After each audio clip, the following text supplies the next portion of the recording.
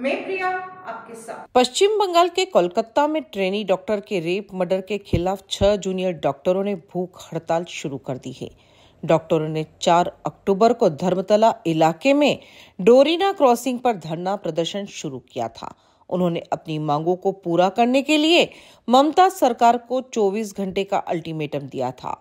राज्य सरकार को दी गई डेडलाइन शनिवार 5 अक्टूबर की रात साढ़े आठ बजे खत्म हो गई थी। इसके बाद पश्चिम बंगाल जूनियर डॉक्टर फ्रंट के छह प्रतिनिधियों ने आमरण अनशन शुरू कर दिया। Junior doctors health security NS Nigam को हटाने, स्वास्थ्य विभाग में भ्रष्टाचार के लिए जवाबदाही तय करने समेत अपनी नौ मांगों पर अड़े हैं। डॉक्टरों ने बताया कि वे भूख हड़ताल की पारदर्शिता बनाए रखने के लिए मंच पर सीसीटीवी लगाएँगे, ताकि हर कोई देख सके कि वहाँ क्या हो रहा है।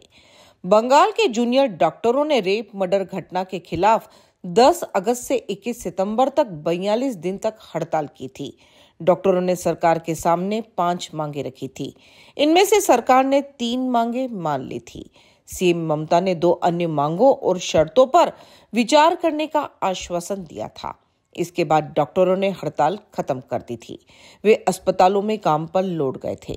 27 सितंबर को सागौर दत्ता हॉस्पिटल में तीन डॉक्टरों और तीन नर्सों से पिटाई का मामला सामने आया, जिससे नाराज़ होकर डॉक्टरों ने 1 अक्टूबर को फिर से हड़ताल शुरू कर दी थी।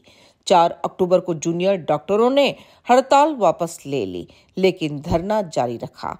उन्होंने कहा कि हम काम पर लौट रहे हैं, क्योंकि सरकारी अस्पतालों में बड़ी संख्या में मरीज़ परेशान हो रहे हैं।